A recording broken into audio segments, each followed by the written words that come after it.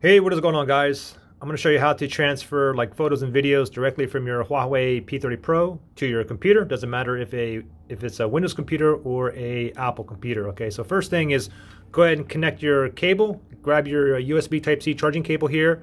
Make sure one end is obviously connected to the USB port in your computer.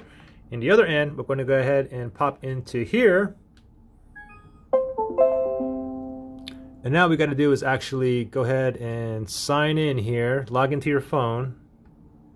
And then once I sign in, I'm going to get this message right here, okay? You can see the uh, use USB. If you don't have this up right away, what you can actually do as well, I can just click on cancel here. Go ahead and scroll down from the bottom up like that. And then right here under the uh, notifications, you can see it says settings here. Tap on settings right there and then tap on it again, charging via USB.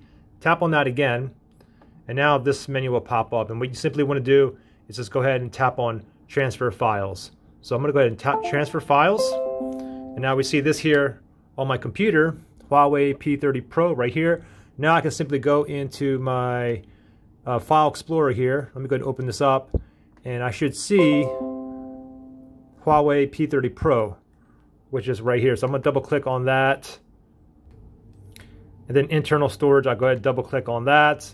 And then I'll go ahead and click on DCIM right here and click on camera. And here is all of my photos as well as my videos here that I need to download onto the computer right now. So you can simply, you know, highlight the ones that you want, or you can highlight it like this, whatever you want, and then right click, and you can click um, cut or copy, and then you can paste it onto your desktop or paste it uh, pretty much wherever you want. So there you go. Pretty simple to do. If you guys have any questions or anything, just comment below.